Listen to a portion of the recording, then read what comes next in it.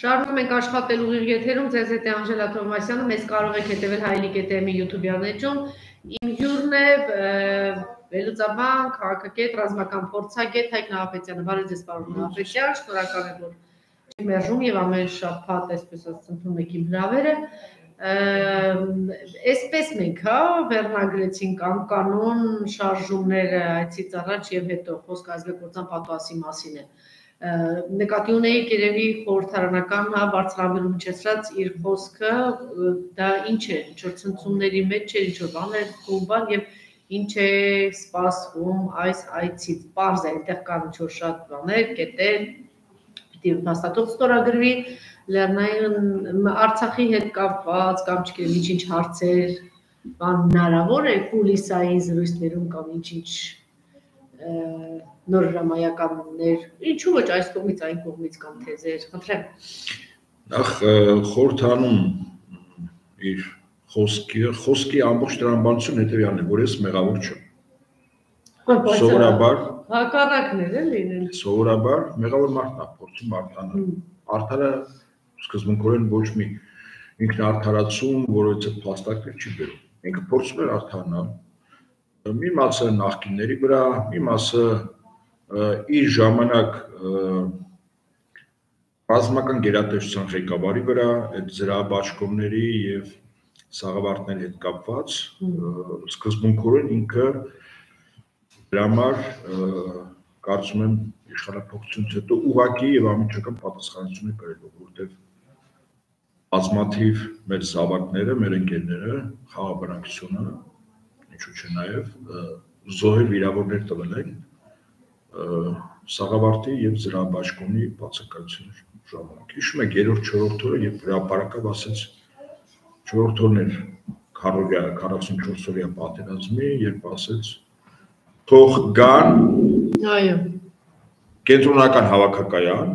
իրենց հետ ասեց այո իրենց հետ բերեն սաղավարտներ, զրաբաշխումներ։ Ինքը ասում է, որ վերջին պահին է իմացել, որ բանակը չունի դա, այնինչ բանտից պաշտպանության նախարար այդ ժամանակ Դավիթ Տունյանը հերքեց ասելով, որ ներկայացվել է ինքը իրազեկ է, կառավարությունը իրազեկ է։ Իսկան պատերազմի մեջ մտնող պատերազմի նախապատրաստվող բանակը չունենա սաղավարտ սիմվոլը զինծառայողը եւ զրահապաճկով հասկանում եք ես դեռ չեմ ասում մարտավարական սխալներ, ռազմավարական սխալ զինատեսակների գնում, արկերի եւ հրթիռների ոչ արդյունավետ օգտագործում, անգամ արկեր հրթիռներ, որոնք չեն պայթել եւ այլն, դա էլ հարց մի կողմ։ Այսինքն առաջինը զինծառայողի անվտանգությունը նվազագույնը ապահովում է այդ զինվորական գույքով, որը չկա։ Եվ զոհերի մի մասը վստահաբար դրա բացակայության պատճառով եղել, հետևանքով եղել, որի համար առաջին պատասխանատվությունը ինքն է կրում, երկրորդը արդեն ռազմական գերատեսչության պատասխանատու այրին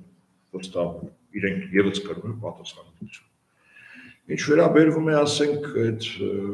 Շուշիի հետ կապված, հետո Մինչ այդ Տոնոյանը հայտարարություն արեց, հետո ինքը խոսեց, Տոնոյանն ասեց, չէ, ինքը սուտ է խոսում, տեղակ չի եղել, Հակո Մոսես Հակոբյանն էլ գեներալ ասեց երկուսն էլ սուտ են խոսում նախ պաշտպանության նախարարը սխալ հայտարարություն ունի, դա ոչ թե կառավարությունը, այլ անվտանգության խորհրդով է հաստատվում եւ կամավորների մասին է խոսքը, այսինքն երկուսին էլ սուտ համեց։ Ուրեմն անվտանգության խորհրդում այո հաստատվում է, բայց հետո այդ զինվորական գույքը գնելու համար կառավարությունը նաև հաստատում է, որ ենթադրենք որոշակի լրացուցիչ գումար, ենթադրենք։ Մտնելու է կառավարություն, վստահաբար մտնելու է Այո, անվտանգության խորհուրդը, որը կապված է անվտանգային հարցերի հետ։ Բայց վերջին օղակը, որտեղ հաստատում է եւ գնումները, որտեղից ոնց ինչ եւ այլն, որ նախարարություններն են պատասխանատու, ժամկետները պատասխանատուները ունեն, կառավարությունն է, դա բանը չի, անվտանգության խորհուրդը չի։ Իսկն ապրանք պիտի գնվի, այսպես ասենք, զինվորական։ Իսկ դա արդեն կառավարություն որոշ նախարարությունի գործառույթն է։ Ներառալ նաեւ, ասենք, պաշտպանության նախարարություն Հիմա ինչ վերաբերվում է, ասենք, այդ Շուշիի հետ կապված, դեք ոնց ասենք, մի բա որ պետպես նայում ես, ոնց բան շատ ողբալի է։ Չգիտեմ, մի մոտ մեկ-մեկ, ասենք, այդպես խղճահարություն էլ այլի։ Այդ մարդը փորձում է ամեն կերպ, ամեն կերպ ստել սա, ստել սա, խապել սրան մեղավոր հանել։ Ինքը հո հոգի բանոն ինքը գիտի, որ մեծ հաշվով տարուն է լուծում։ Ինքը վստահաբար գիտի, ինքը փորձելու է աճ ու ցախ հիմնավորել մարդկանց համոզել եւ այլն, բայց անհնար է իր ներսում մի ձայն ասում։ Բայց մի ճշտում բոլոր սրիկաները գտնում են արդարացում իրենց ներսում են, ասում են, այ դու ես Այդ սկսում են անընդհատ սուտը կրկնել, որ այդ ստին իրենք հավատան, հետո այդ սուտը ներկայացնեն որպես ճշմարտություն։ Բայց այն առաջին պահին, առաջին պահին այդ ներքին ձայնը իրեն ասում է, որ դու ստում ես, որ այդպես չի։ Երբ որ այդ ներքին ձայնը բավականին տոնայնությունը բարձրացնում է, մարդիկ փորձում են այդ ձայնը խեղդել։ Թմրամիջոցի, խմիչքի, քաշած օղի ինչ որ կա, չէ՞, տենց։ Դե, այսինքն դա մոռացության այդ ցավի ազդակը, այդ զայնի ազդակը, որ տալիս է։ Փորձում են մոռացության տալ, բայց դա հնարավոր չի մոռացության տալ։ Այդ չեմ ասում, որ ինքս վերջերս բանը բարբերաբար խոսում էր նաև այդ ելույթի ժամանակ կամ հաշվետվության ժամանակ նաև աստվածաշնչից մեջ բերումներ են անում, հա Երանի Երաններից մեկն էր ասում Երանի խաղարներ, որոնք խաղարներ, որոնք Աստծո որդիներ պին կոչվում։ Ուրեմն ինքը նախ սխալ է մեկնաբանում յուրովի, տիպիկ աղանդավոր։ Փաշնա Նիկոլը անցել է նաև աղանդավորական դպրոց, ասեմ ձեզ։ Պահագայինքն էլ, իր կինն էլ, որտեղ են սովորել, ովքեր են իրենց հոգևոր ճոբաններ եղել, առաջնորդների որ դպրոցում այնքան անցել Արսեն Թորոսյանի այդ թաթիկը բռնած դաս են գնացել եկել այսպես այսինքն էս անձին պատրաստել են հիմա այդ Երանի խաղարարներին երկու հիմնական շեշտադրում է առաջինը անձին է վերաբերում որ իր մեջ խաղաղությունը պահի այսինքն հոգս չվերցնի հոգս որը իրենը չի չի կարող դա տալ հա մարդկանց նկատմամբ չարությամբ լցված չունի մարդկանց սիրի այնպես ինչպես կուզենա որ այդ մարդիկ իրեն սիրեն այսինքն բարի գործ անի եթե չես կարող վատություն մի արա աշխարհից ճուժի ճուզի շատ բան որը որ իրենը չի ասենք իր հասանելիքը չի երբ որ մարդու մեջ սկզբունքորեն ինքը գոհանում է նաև այն իրավիճակում որտեղ շատ ավելի մեծ փորձանքներ կան ասենք ընտանիք ունեցող անձը աշխատանք տուն եւ այլն դժգոհում է որ ենթադրենք նյութական այդքան լավ չի եղբայր ասում ես բայց Այսօր լավ չի աշխատի, վաղ լավ կլինի։ Փոխանան տանիք ունես, հա, կին, զավակներ, տանիք, ինչքան մարդ կա, որ ամուսնացած չի, չէ։ Ինչքան կան, որ ամուսնացած են, զավակ չունեն, ինչքան կան, որ դուրսն են, տանիք չունեն։ Չէ, երբ որ համատում ես, ես չեմ ասում, որ պիտի չաշխատես, որ դու մտ կերակես, այո, պիտի աշխատես, ավելի շանկ, շատ ջանք, հա, ավելի խորագետ լինես, միգուցե երկրորդ տեղը պիտի աշխատես։ Ենթադրենք, որ նյութականը բավարարես։ Եվ այն մարդիկ, ովքեր ներս այդ խաղությունը պահում են, այդ երանությունը, այսինքն խաղությունը երանության վիճակը։ Բայց կա նաև երկրորդ գնահատականը։ Խաղարարը, երբ որ ասում են Երանի խաղարարներին, դրանք ընտանիքի երկի խաղաղության պահապաններն են։ Խաղարարը նաև խաղաղության պահապանն է, այսինքն դրանք հայնիկի պաշտպանների մասին է խոսքը։ Եվ բոլոր նրանք, ովքեր որ համազգեստ են գրել եւ սահմանում են, իրենք արդեն այդ երանության մեջ են, որտեղ հայրիկի զինվոր են։ Ոտերը պատական չի ասում, նրանք Աստծո որդիներ պիտի կոչվեն։ Այսինքն ով համազգես տակել հայնիկա պահում, հայնիկը առարկարիոն նաև իր ընտանիքն է, իր արունակիցն է, դու արդեն խաղար ես, որտեղ պաշտպան ես։ Դա եւս երանության մեջ է մտնում։ Հիմա Փաշինյան Նիկոլին, որ նայում ես իր արած գործերով, ոչ ինքն է խաղաղ, իր ամբողջ խաղությունը փախած է այդ խմելը հարբելը հիստերիան այդ այդ վիճակը այդ մարդը ես ասում կողքից մի բան որ նայում խղճահարություն իմ մոտ օրինակ մեկ-մեկ նայում խղճահարություն է առաջ ասում դեր ողորմ ես մարդուն փորձ է չարը մեջից անել ես մարդը գուցե ինչ-որ ձեւ գիտակցի որ ճիշտ չի այդպես ապրել իսկ երկրորդ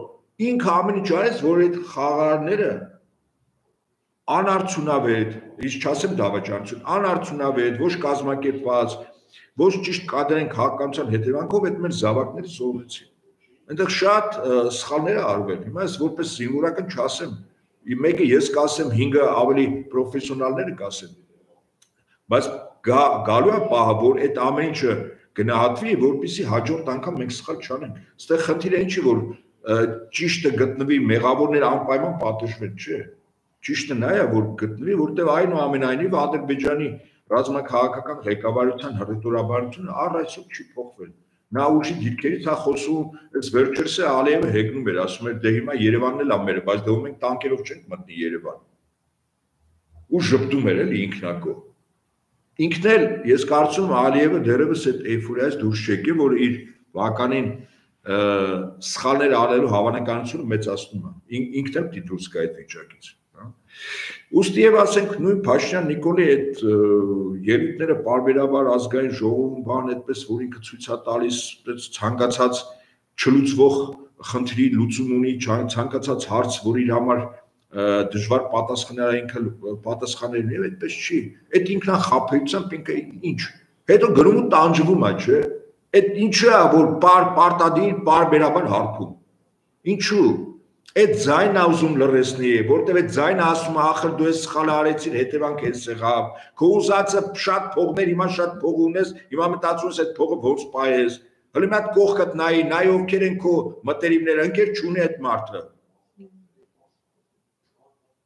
Բա խղճահարության արժանի չի։ Հիմա ես դատարան չունեմ, դատավոր որ ասեմ այդ մարդը սխալների համար, այսքան պատիժ է եւ այլն, բայց մարդկային առումով որ նայում ես, իսկապես խղճահարության արժանի է։ Ինք իրեն ցույց է տալիս, որ ուժեղ, շատ թույլ, նենք, բախկոտ,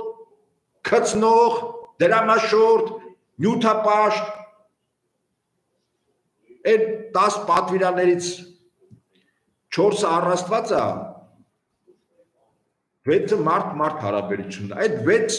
այդ պատվիրաններն խախտել է։ Ամեն աստծոր ինքը խախտում է ընդ որում խախտում է հրաապարակային ստախոսությամբ են ասում էր եթե իր ընկերներին կոչ եմ անում եթե ինձ եւ իմ ընկերներին հիմնավորեք որ մենք կոռուպցիայի մեջ թաթախված ենք կախաղան հետո էլ գնդակը արել բան այդպես էլի կախաղանից հետո էլ գնդակը արում մեծ մարդու ամբողջ կառավարման համակարգ եթե կառավարումը կոռուպցիայի մեջ թաղված է Ինք իրանից չի զզվում, ասում է Փաշինյան Նիկոլ, մի հատ հայլու մեջ ինքը նայել իրիկունը։ Թքի այդ հայլու վրան։ Ըստ ինքը իր դեմքի դոմի հատ թքի։ Ո վերջին սրիկա չէ, սոյ ժողովրդի պատմությունը չի սկսում Փաշինյան Նիկոլի ծնունդով ու իր մահով ավարտում, այդպես չի, չէ։ Այնքան Փաշինյան Նիկոլները են եկել գնացել մեր ժողովրդի պատմության մեջ։ Այնքան են զակատվել հիշողության աղբեն, պատմության աղբամանում, գնացել ու գնացել։ Փաշինյան Նիկոլը թող շնորհակալություն Աստծուն հայտնի, որ վաղ չեմիսոր ամենամեծ վիրավորական ու բան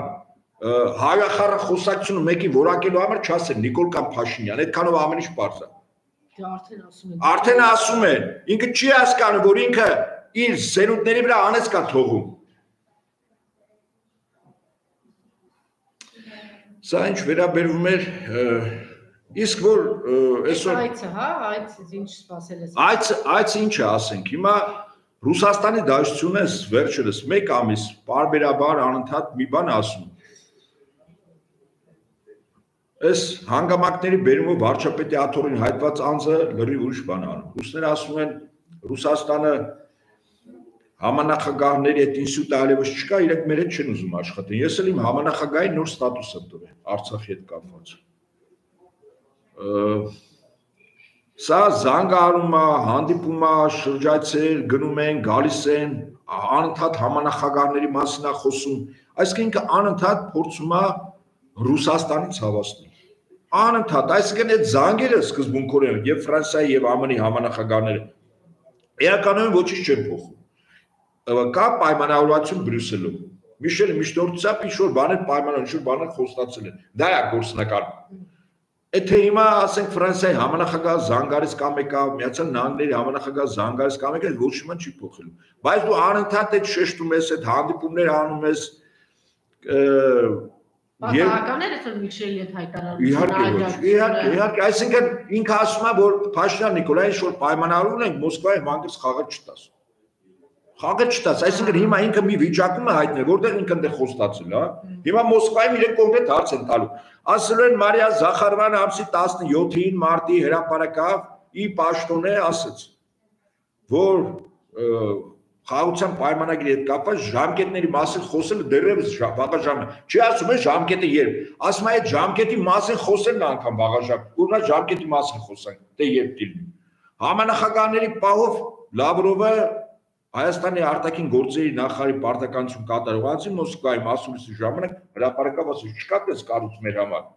Որտեւ իրենք մեր հետ չեն աշխատում։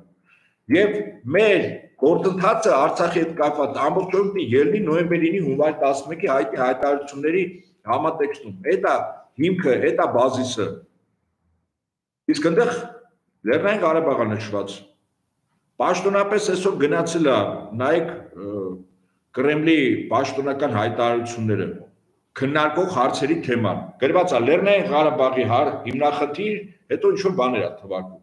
Այսինքն Մոսկվան ասում է Լեռնային Ղարաբաղի հիմնախնդիր կա։ Ալև ասված չկա դից բան։ Եվրամիություն ասված չկա դից բան, որտեղ այն հայտարարությունը, որ կամ են 5 կետեր, որ Ադրբեջանը տրամադրել էր Փաշտանիկովը ցանցացել Լեռնային Ղարաբաղ չկա։ Մոսկվան ասում է կա Լեռնային Ղարաբաղ, ասում է այդ հարցը լուծված չի։ Փաշտան Նիկոլ, դու որ եկել ես հիմա մենք քննարկելու ենք Լեռնային Ղարաբաղի հարցը։ Հիմա սա ինչպես ասում են, երկու քարի արանքում է մնացել։ Մի կողմից Եվրամիությունը իր լծակներով, որտեղ եղած չեղած փողերը էսի Մոսկվայում չի պահում, ոչ էլ բարձի տակ։ Այն Շվեյցարիա որ գնում էր, հետո բարբերաբար այդպես իր ընտանիքի անդամներն էին գնում, այնտեղ է պահվում։ Հիմա այդ Ես ուղղակի ասեմ, որ շվեյցարական գաղտնի բանկ հասկացություն չկա, որտեղ այդ հաշիվները բան իբր չի չի ասում ոչ մեկի։ Մի անգամ նախադեպ 70-ականներին Միացյալ Նահանգների կենտրոնական հետախուզական վարչության մի քանի անձերի վերաբերյալ տեղեկություններ պետք բանկային հաշիվների։ Դե շվեյցարական բանկերը ասում են անձնմխրություն կա, մարդ ինչ բաղում է, մենք չենք ասում։ Ուզել են այդպես կեցվածք էր դրսևորը Շվեյցարիայի կառավարությունը նաև իր բանկային համակարգի հետ վարչապետ երկու օր մնաց, երրորդ օրը նոր վարչապետ։ Ու всё թեման փակվեց։ Այն որ այնպես որ արեմուտք ունի իր լծակները Փաշյան Նիկոլի վրա։ Հիմա ասում են սես դանես։ Եվ Մոսկվաների լծակներ ունի։ Այս վերջերս Մոսկվան ասենք այսօր վերլուծական կար, որ ասում էր մոտավորապես որ Մոսկվան չի խառնում ցանկացած երկրի ներքին գործերին իշխանապողության տրամաբանության պետքս այդ գործիքակազը արևմուտքի գործիքակազմն է բայց Մոսկվան նաև ասում է որ այնուամենայնիվ Լեռնային Ղարաբաղի հիմնախնդիր կա այնուամենայնիվ Փաշինյան Նիկոլը իրավիճակը համարժեք կգնահատի։ Եթե չկա Մինսկի խումբ, Յանկը Մինսկի խումբ, ինքը ոնց է այդ համանախագահների հետ աշխատում, մեր համար անհասկանալի է։ Եթե ինքը տարածքները սկզբունքորեն որոշում եւ զիջում են, ասենք Արցախում բարձունքներ գյուղեր, հետո վերջում խաղապարներն են, ինչպես ասում մեղավոր կարգվում։ Հետո Մոսկվային խելք հասորացնում Փաշինյանը, թե խաղապարները լավ չեն աշխատում։ Լե մի հատ հետաքնություն արեք, տեսեք այդ ոնց են վատ են աշխատում, մեր դուրը չի գալիս։ Մոսկվան ասում է հիմա նոկա։ Այսինքն այդ մի հայտի բուլգակվուներ են շանսիրտը բժիշկները որ շնից կառավարիչ են սարքում հետո որ իսկապես համահարում ասում են դե հիմա ժամանակը նույն իր շարիկով իր կարգավիճակով շան կարգավիճակով հիմա Փաշինյան Նիկոլը սկզբունքորեն հայտվել է միտեղ որտեղ իրան կարող է տանալ որտեղ որտեղից բերել էին Երևիկը բանա այդպես մտածում եմ որ ինքը վերջն է էլ ինչպես ասում են մեր պատմության ալֆան օմեգան ինքն է, որպես եւ կառավարիչ։ Կգնա դրանք ստորագրելու խաղաղությամբ։ Մոսկվան, ես ասում եմ Մոսկվայի համար այս պահին նման պայմանագրի ստորագրումը ավելին անգամ դելիմիտացիայի դելիմիտացիայի հանձնաժողովը Մոսկվան ասում է ես տալու եմ քարտեզները, մասնագիտական խմբերը, բայց չի ասում հիմա։ Այնինչ սա այդ մասնագիտական հանձնաժողովները ստեղծելու համար Եվրամիության առաջ պարտավորություն ա վերցե կամ նույնա թե Միացյալ Նահանգներ չի Եվրամիություն։ Միացյալ Նահանգները ոնց ասում են Եվրամիությունը այդպես էլ անում է։ Ինքը պարտավորություն ա վերցել մինչև ապրիլի վերջ։ Իսկ ժամկետ է իր վրա վերցրած։ Մոսկվան ասում է, ասել է դու տխմար ես։ Մենք քեզ ասում ենք, որ դա երկարատև հանձնաժողով կամ ասենք այդ Եվրամիությունը որ դելիմիտացիա անում իշ քարտեզներով անում, շատ հետաքրքիր է։ Այդ որտեղի քարտեզները պիտի բերեմ, որ այդ դելիմիտացիան արվի։ 26 թիվի թվի էր ասում։ Թիվը կարևորը որ այդ քարտեզները ամենայն ճշգրտությամբ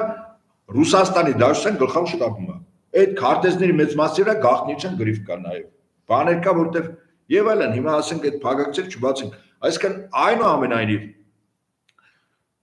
գործնականում գործիքակազմով լծակներով Ռուսաստանը ունի այս գործընթացում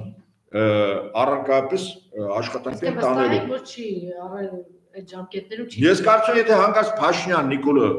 այնուամենայնիվ իր խոստումները ինչ որ տվել էր Միացյալ Նահանգներին Եվրամիության միջնորդավորված, եթե գնաց, ես կարծում եմ ես համար վականի ցաներ օր են սպասում։ Ինչու, որտեվ դրանից հետո սկզբունքորեն եւ Արցախը Ադրբեջանի կազմում եւ դելիմիտացիա, որտեղ մենք երկու միջպետական ճանապարհ են կորցնում, մեկը սկզբում են հայկական դրոշի իջեցրել են այն շրջա տեղ կար։ Դե բայ իհարկե, բայց ամեն ինչ պիտա։ Դե շուտով տաուշում կանցնել էլի։ Հիմա Վարդենիսում էլ եւ այլն։ Հիմա ասածս ինչա որ եթե այնուարև Փաշյան Նիկոլը գնաց դրան, Ռուսաստանը ասում է, չի ասում, բայց ինքնաբերաբար հասկանալի է։ Ինքը իր գործիքակազմն ունի, իր լծակները ցանկացած պետությունների վրա ազդելու եւ այլն, բայց այն ինչ որ արևմուտքն անում, երկրներում իշխանապողություն իրականացնում Ռուսաստանը չի անում։ Հիմա ինքնաբերաբար հասկանալ է, լավ, հայ ժողովուրդ, հիմա դու եթե համակերպվում ես SSS, պարտությունից հետո նորից Փաշյան Նիկոլը վերընտրվեց, դրանից հետո Արցախա տալիս, հետո ձեր հայնիկի մի մասնա տալիս, ու դուք արժանի չեք ընդհանրապես ոչ միայն պետականություն, այլև հայնիկ ունենալու։ Այ տրամաբանական հետևությունը դա է։ Ինքը գիտեք ոնց, ասենք, եթե այսպես ասենք, էլի, ծնկած մուրացիկը, որը պահանջատեր է։ Ծնկած մուրացիկը ընդհանրապես խնդրում է, Աստծո անունն է տալիս, ասում է ինձ խնդրում եմ օգնեք, ես դրա կարիք ունեմ, չեմ կարող։ Յութական ասենք ինչ որ դրան վաստակեմ եւ այլն։ Բայց դու պատկե եւ այդ մի մի մի մասը տալիս է խղճարություն ցելներով։ Մի մասը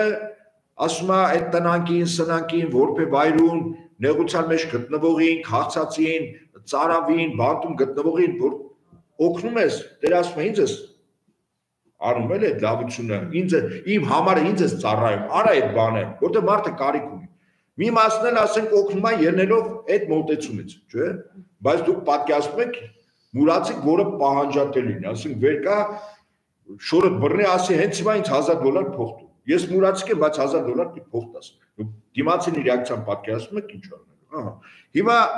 մեր ժողովուրդն էլ էտա ռուսներին, մենք ասում ենք, գիտեք ինչ, Ռուսաստանի ղեկավարությանը ասում են, չէ, դու պիտի այս հարցը մեր այս հարցը լուծես, այս հարցը դու լուծես, այս հարցը դու լուծես, հետո փասապուս հետ հավաքես գրած, մենք այդ փշկոտենք, ասենք, կեթե ինքնիշխան բանը անկախ Հայաստան։ Եղբայր այդպես չի։ Այն մարդը ասում է, եթե դու չկաս այդքան, ուրեմն դու իրավունք չունես։ Անբնական է, անբնական է, եթե այսքանից հետո մեր ժողովուրդը հավաքական առումով իր էլիտան, իր քաղաքական ուժերը այնուամենայնիվ չընդվզեցին, իսկ այդ ընդվզումը դիլնի հավաքական։ Ես ինձ համար մի քիչ այդ ընդվզման, հա։ Հա, հիմա բերում ենք, ինչպես ասեք, սա անկերպով անցում կատարենք այդ ցանցային կառավարմանը։ Ես ինքս իմ առաջին կրթությամբ հա։ իմ առաջին կրթությամբ ես սիստեմային ծրագրավորող եմ։ Այդ ցանցային կառավարումը իմ մասնագիտական ուղղություններից մեկն է։ Ես հրաշալի գիտեմ ինչ ասելա ցանցային կառավարում եւ կապ չունի ցանցային կառավարումը բիզնես ոլորտում է, թե պետական կառավարման, թե ընդվզման։ Բայց եթե ցանցային կառավարման ժամանակ որոշումները միտեղ չի կայացում եւ փոխանցում այդ ցանցի տարբեր օղակներին, այլ ամեն օղակ ինքն է որոշում կայացնում, ցանցային կառավարում չի։ Այդ նշանակում որ այդ օղակները չեն եկել ընդհանուր հայտարարի։ Ընդհանրապես մարդկանց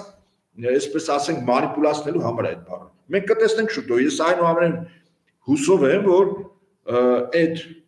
կառույցը պիտի լինի, այդ կենտրոնացած կառույցը պիտի լինի։ Հա, իհարկե գլուխը թող չերևա, որտեղա որոշում կայացում։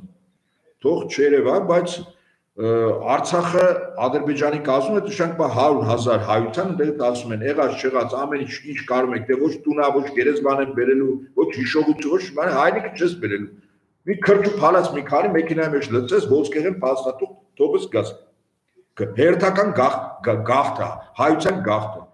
հիմա եթե չենք ուզում որ այդ 100.000-ը գա ու գնա նաև մեծ մասը դուրս են գնալու զուրվելու են եւ այլ չենք ուզում այդ կեցած դրսևորենք հիմա ասենք լավ վանեցյան արտուկը առաջինը ես անձնակարով չնայեմ նայեմ շատ ավելի խիստ բան եք ասեմ կարծում դուք եք որոշակի առումով իրազեկեք Բայց ասում են Վանեցյան Արտուրին դնում եք մի կողմ։ Երեք Արմենը լավ ասաց Գրիգորյան հարց էին տալիս ազատություն հրապարակից ասաց լավ Վանեցյան Արտուրի հետ նորմալ չի, դե դաշնակցությունն է վաղը, մյուսը հանրապետականը, լավ կուսակցական ձևաչափով չեք համախոհ։ Շարժումներ, եթե դա չի, եկեք իմ կողքը։ Ես էլ որպես անհայտ։ ասեց, հա։ Դա ճիշտ մոտեցում է։ Բայց այս վիճակի պետք չի համակերպվել։ Ասեմ ձեզ, հոգեբանների մոտ այսպիսի տերմին կա ուրեմն մարդը ֆիզիկապես մահանում է բայց մահանալուց հոգեկան վիճակ կա որ կես քայլա մահանալ գիտեք այդ բառը որն է կոչվում է անտարբերություն ուրեմն մարդ երբ որ աշխարհի գույց ունեցող իրողությունների շրջապատող իր ընտանիքի հայրենիքի ասո ամեն ինչի հանդեպ անտարբեր է ինքը արդեն մահացած մարդ հոգին մահացած, այսինքն հնարավոր չի մարդը այն վիճակները, որի մեջ ինքը ապրում է, ասենք adekvat ինչ որ արձագանքներ չտա։ Հիմա եթե այդ արձագանքը մեր ժողովուրդ հավաքական առումով չի տալիս, սկզբունքով ինքը մահացած է։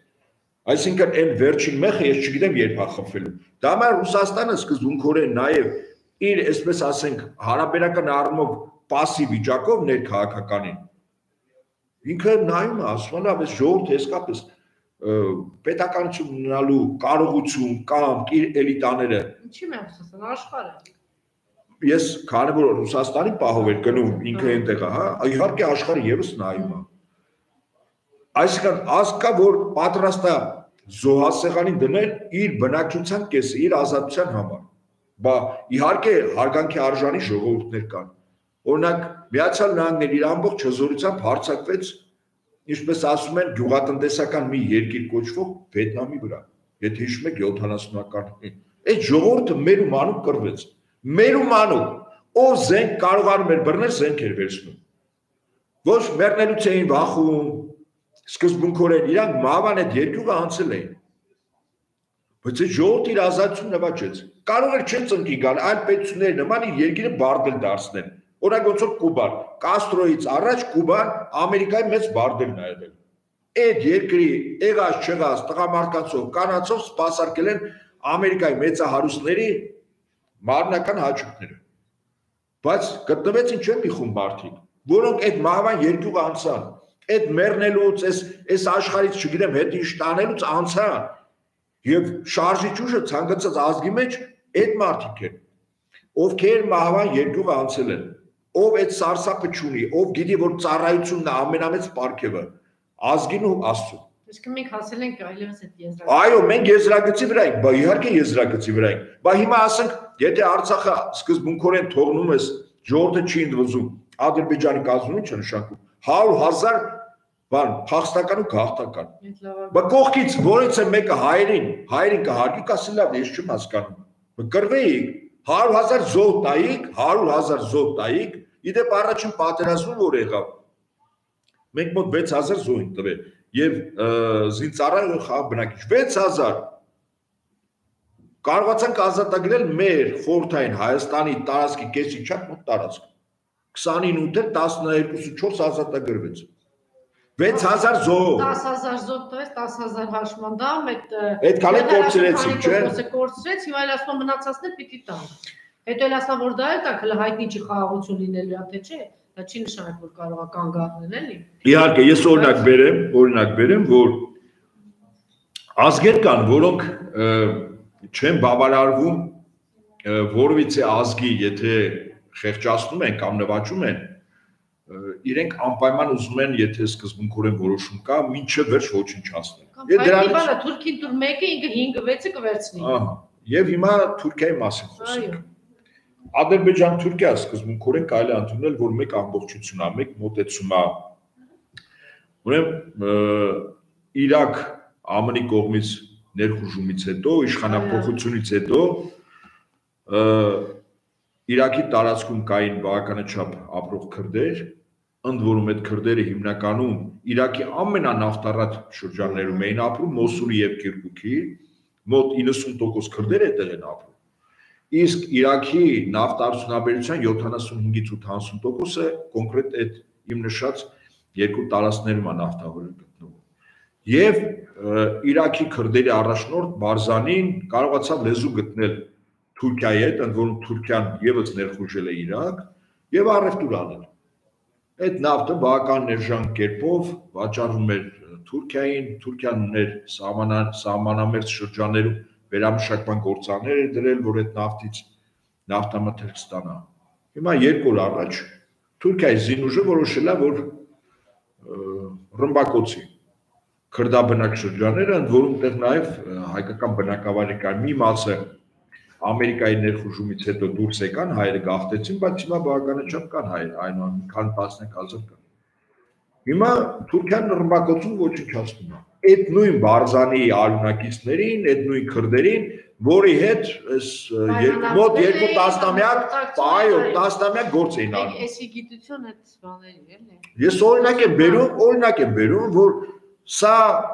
սա նախորդ դարի օրինակը չի, որ հետո ասեն թուրքը քաղաքակրթվել է։ Հիմա թուրքը երկու օր առաջ խախտեց պայմանավորվածությունը եւ ռմբակոծումը ասում է իդեպ, որ ինքը իբր ռմբակոծում է քրդերի քրդական բանվորական կուսակցության ահաբեկչական խմբավորման ճամբարները։ Իրաքում քրդական բանվորական կուսակցություն չկա։ Դա Սիրիայում է, մի մասը նաեւ Իրանում է չկա այդ մեկ էլ իր տարածքում է ԿԲԿ-ն Օջալանը, որի առաջնորդը գերեվարված է հիմա Թուրքիայում, Իրաքում չի եղել։ Եվ հիմա ինքը այդ իսկ գիտեք վաղը չմիսորը կարող է parzi որ օրինակ Հայաստանում էլ չէ քրդեր կան։ Կան։ Շատ չեմ, բայց շատ չեմ, բայց իրենք ասում են, որ թուրքերը ասում են, որ այդ ազգությամբ եզդիները իրանք եւս քուրդ են։ Հիմա իրենք կարող են մասի փեշերին քրդաբնակ գյուղեր են իդեպ ասեմ շատ բարձրադիր քրդեր են ապրում այո հիմնականում հիմա ասենք իրենք ինչ օպերացիա կարող են անել այդ քրդաբնակ գյուղերի մտնեն ֆիզիկապես ոչնչացնեն բոլորին անխտիր հետո մի քանի համազգեստով հայկական համազգեստով դրանց հագցնեն հետո ասեն որ Հայաստանից ԿԲԿ-ի քրդական բավարարական կուսակցության զինյալները մտել են մեր տարած, մեր երկի քաղաքացիներին սպանել են, հետո հետ են գնացել Հայաստան։ Ինքը կանխարգելի հարված է հաստնում, օրինակ Հայաստանի որպես այդ կոտորած իր մուտ չանեն։ Դրանից հետո ինչա Փաշինյան Նիկոլ ասելու է, ախր Էրդողան ջան, բայց ախր այդքան է ճիշտ չի։ Մեն ասել սրիկա շանտակո ամբողջ կյանքը իմաստը սուտն ու կեղծիքն է։ Ստով ապրած, ստով ծնված, ստով ապրած, ստով գոյատևող Լավ եմ անում անում եմ։ Բա ոնց։ Հիմա Հայաստանն է պետք է վերցնեմ։ Հիմա ինչ անելու Փաշինյան Նիկոլը դրանից հետո։ Հետաքրքիր, օրինակ ասեմ, ռուսական գործոն դրում ենք ենքով։ Իհարկե, ես ես տեսականորեն եմ ասում, քանի ռուսական գործոնը ստեղ կա։ Հրթիռները պատահական անցած անգամ էլ խոսեցինք, որ Արարատի ուղությամբ թեքել են։ Պատահական է դա։ Այսինքն այնուամենայնիվ իրենք կազմում պատրաստ են որ պահին հարմար առիթ իրենք գտան, այսինքն աշխարհի քաղաքական իրավիճակը այնպեսին եղա, որ իրենք կարող են խփել, իրենք խփելու են։ Իրենք պատրաստ են։ Իդեպ այսօր բարոն Բագրատյան առաջարկեց այն անձինքը, Տվագն Ալեքսանյանն է, Վիգեն Խաչատրյանն է, Գուրգեն Արսենյանն է, ովքեր որ ասում են, հա ինչ է նորմալ է ազգակցության պատուասի խոսքերի հետևը որ կարող կարգավիճակի հարցը պետք է ճշտեն, կարգավիճակի իջեցում Ադրբեջանի կազմում եւ այլն եւ այլն, քանի որ տեղի ունեցել դավաճանական հայտարարություն, դա հակապետական դավաճանական ապա այս մարդկանց պետք է վտարել կամ անմիջապես դատախազության դիմել այս մարդկանց կալանավորել եւ իրենց ունեցած չունեցածը վերցնել ու տալ բանակին։ Լավ ցանկություն է, բայց ընդհանրապես ցանկություն է։ Ինչու՞։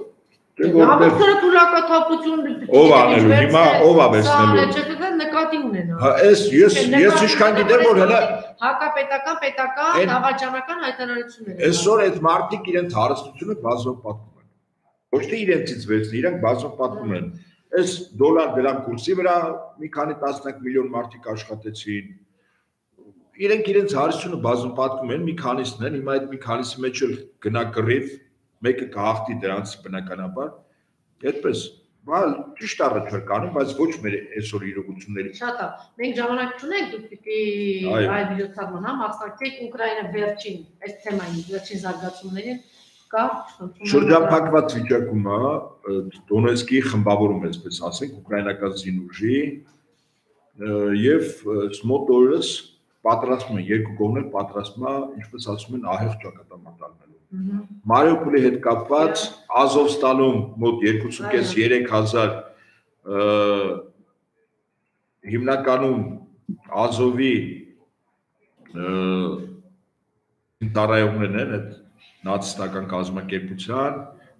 ընդ որում ասում են այդ 2.500-ից մոտ 400-ը վարսկաններ են։ Հետաքրքիր է, որ այս վերջերս Մեդվեդչուկ անդիմադիր գործչին ձերբակալել են տնային կալանքում էր եւ փոխանակում են երկու մեծ բրիտանացի դիպուկարների հետ հետաքրքիր չէ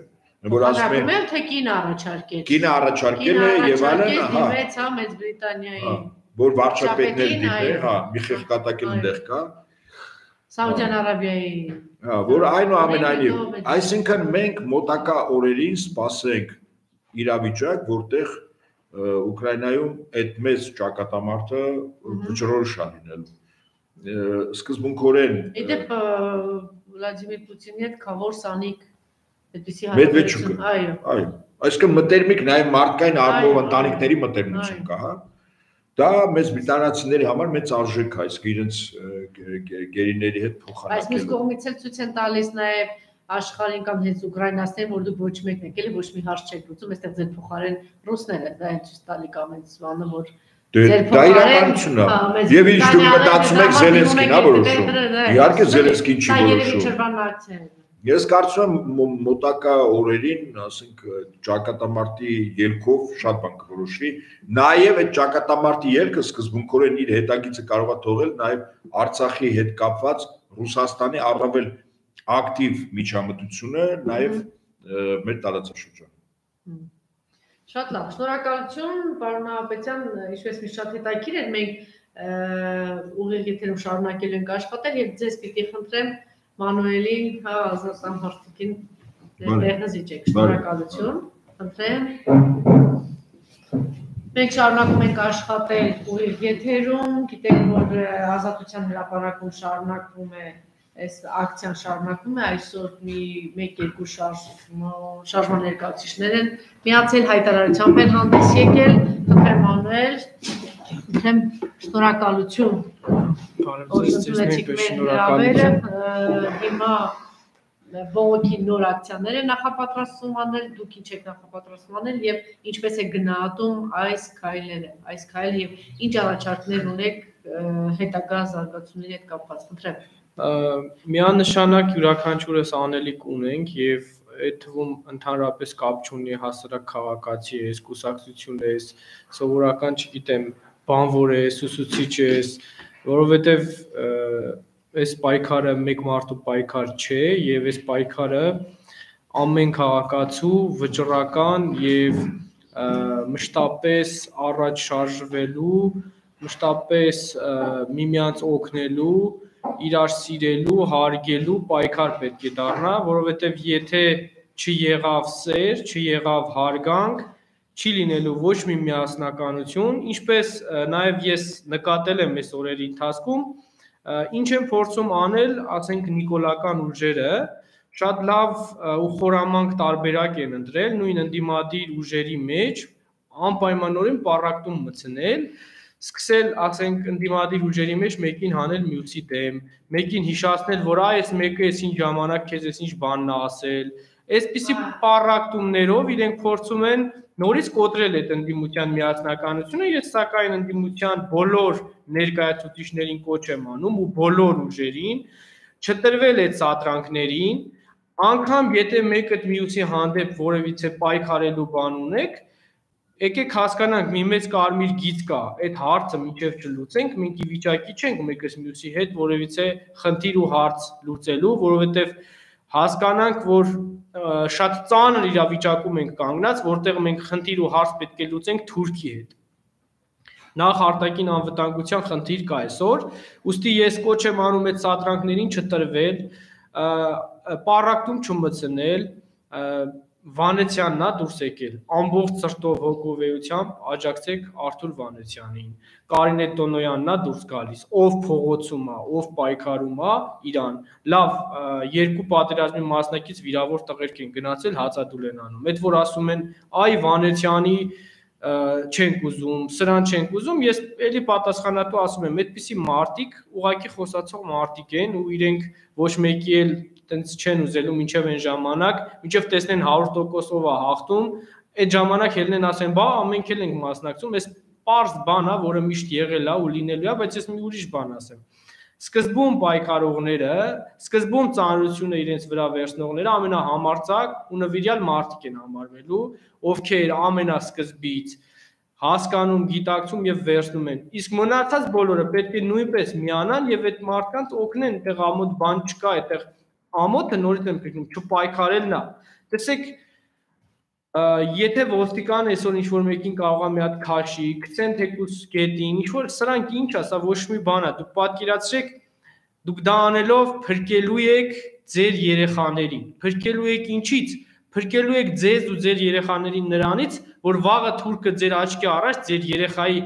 ոդկի մատի ծերից ման ման տրտելու է, ասես կտոր կտորը անելու ձեր աչքի առաջ։ Դուք հասկանում եք մենք ինչի առաջ ենք կանգնած։ Ես սա ոչ թե ինչ որ վախեցնում եմ, սա པարզ իրականությունն է։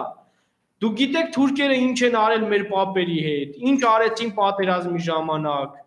Այս ամեն ինչը ահազանգ է, որպեսզի յուրաքանչյուրս գիտակցենք լավ ինչի համար ենք այսօր պայքարում։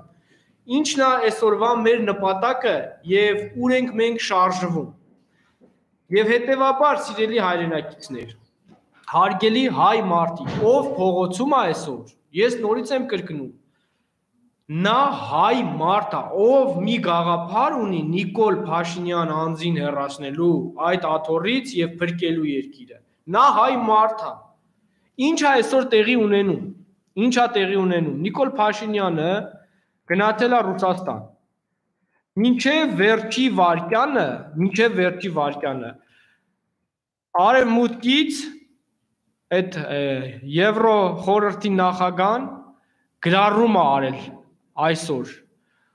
2.6 միլիարդի հիշեցում է արել շատ քաշ գիտակցելով որ Նիկոլ Փաշինյանը փողապաշտ է նրանք Նիկոլ Փաշինյանին հիշեցնում են որ մենք ուզում ենք 2.6 միլիարդի ներդրում անենք որ Նիկոլ Փաշինյանը հանուն այդ փողի գնա այնտեղ Պուտինի հետ ուրիշ բաներ խոսա Նիկոլ Փաշինյանին զոմբիացնում են, դուք մտածում եք Նիկոլ Փաշինյանն է մենակ զոմբիացնում որոշ ուղեղից թույլ մարդկանց։ Նիկոլ Փաշինյանի տերերն էլ Նիկոլ Փաշինյանին են այդպես զոմբիացնում, ուղարկում Ռուսաստան։ Բայց Նիկոլ Փաշինյանը երբ որ գնում նստում է Վլադիմիր Պուտինի առաջ, անտի-զոմբիա դառնում։ Անտի-զոմբիա դառնում, որովհետև վախենում է, որովհետև մկին առյուծ չեն կարա սարքեն, ինչքան ուզում է վրեն փող դնեն։ Չի դառնալու, դա մուկ է Դա չի կարող երբեք առյուծ դառնալ։ Ու ինչ եմ ես ձեզ ուզում ցույց տամ, փաստացի դուք մետ ուշադիր նայեք։ Այս երկու տարուց ավելի Արևմուտքը Եվրոպան ասում են մենք ներդրում ենք անելու 2.6 միլիարդ Հայաստանում ու դեռ չեն արել։ Այդ փող իրանց ունեցածը մենակ այդ փողն է, որը արդեն արժե զրկվել է։ Դոլար, եվրո արժե զրկվում է։ Այդ փողն է, որով Նիկոլը կառավարվում է։ Եվ իրանք փաստացի ցույց են տալիս, որ առևտուր են անում Նիկոլի հետ։ Նիկոլին ասում են գնա Պուտինի դեմ խոսային ինչ որ մենք ենք ուզում, որ մենք այդ 2.6 միլիարդը ներդրում անենք Հայաստանում։ Բայց այդ փողն ինչ եք անում, եթե մեզ տալու է արյուն, տալու է ձեր երեխեքի դիակները, ինչ ենք անելու այդ փողերը։ Ինչների դա պետք է կեղտոտ փողերը։ Էլթոն Ջոնին էլ բերեցին։ Փողեր բերում, ներդրում էր անում, վայելեցիք Տեսակ ինչ բերեցին ի վերջո մեր գլխին։ Այս պղծված գործողությունները համակարգվում է եւ վերջին ելույթին կուզենամ անդրադառնամ, երբ որ մարդը իր բերանով խոստովանեց, որ կարող էր փրկել այդքան տղերքի կյանքեր,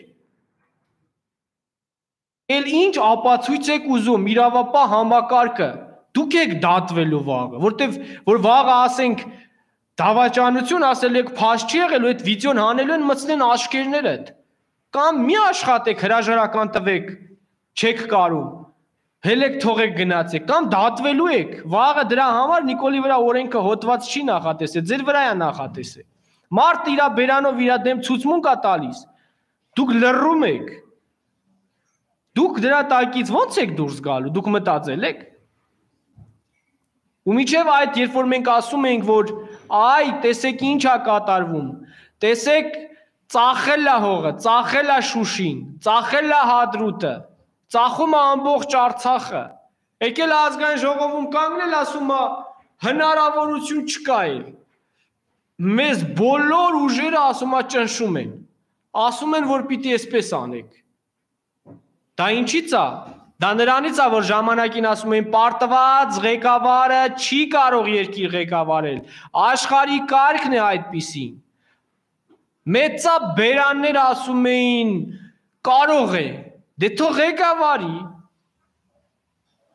Կարող է, կարող է, կարող է ղեկավարել, բայց ստրկացնել, ոչ թե ղեկավարել։ Ղեկավարել հասկացողություն նայած ով ինչ է հասկանում դրա տակ։ Օրինակ կոշիկ փայլեցնեք Թուրքի, ապրեք կարակ։ Ինչի՞ չեք կարա։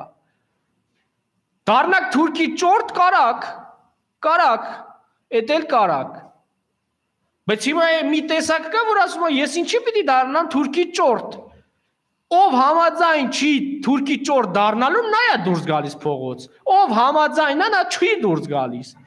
Նա նստելու է ու սպասելու է, մինչև իրեն ճորտացնեն։ Հիմա ձեր պատմությունը վերլուծեք մենք պատմության մեջ ունեցել ենք վատ պայերել լավ պայերել հիմա եկել է մի իրավիճակ որտեղ պետք են նվիրյալներ նույն ընդդիմադիր բոլոր ուժերին եմ ասում. Դուք ձեր կորիզներն ունեք դուք ձեր ամեն մեկը մեկը գալիս է կազմակերպիչներն ունեք երբեք հաջողություն չի լինելու, քանի առաջ չեն գնացել նվիրյալներ։ Նվիրյալներ ասելով հասկանում ենք մարդիկ, որոնք գումարը, շահը, պաշտոնը իրապես ստորադասում են, իրապես հայրենիքը սիրում են։ Այդ նվիրյալները բեկում են մցնելու, իրենք են ի վիճակի լինելու մցնելու այդ բեկումը։ Հաջորդը Փողոցային պայքար ասվածը պետքա մի հատ հասկանանք ինչ է ընդհանրապես։ Ես որպես երիտասարդ իմ առաջարկությունները նորից անում եմ, արել եմ ու կանեմ։ Փողոցային պայքարին մասնակցում են շարժիչ ուժը հիմնականում երիտասարդներն են, որոնք ունեն մեծ էներգիա, երրանդ, որոնք որ սկսեցին պայքարել, շարունակելու են պայքարել, որոնց որ պետք է լուսաբանվի, որոնց որ պետք է առաջ մղվի։ Պետք է մարդիկ, որոնք փողոցային կյանքին տիրապետում են, գիտեն, պետք են մարդիկ, որոնք հասկանում են այսօր հասարակ մարդը իրապես ինչ ցավերի, խնդիրների եւ խնդիրների մեջ է, ինչի կարիք ունի, որոնք երթուղայիններով են երթևեկում, որոնք գիտեն երթուղայինի մեջ կայնած կզած մարդը, երբ որ գնում է տուն, ինչ է զգում։ Այն մարդը, որ առավոտից իրիկուն աշխատում է եւ երեխային հաց չի հասցնում, այդ մարդը ինչ ցավեր է զգում։ Այն մարդը, որ վարկերի, պարտքերի տակ տունը ձերքից այսօր առնում են, այդ մարդը ինչ ցավերի մեջ է։ Այսօր տեսեք, հարուստ մարդը, կոմֆորտին սովոր մարդը շատ բաներ կարող է ինքը լավ է պատկերացնում, ինտելեկտուալ է պատկերացնում, բայց կան բաներ, որոնք անելու են ներքևի խավի մարդիկ,